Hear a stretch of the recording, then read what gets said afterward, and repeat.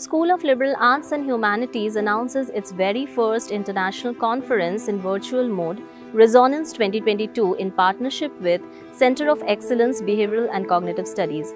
We are all set to conduct our conference on 23rd and 24th November 2022 and this year's theme is Cognitive Approach, Social Ethics and Sustainability.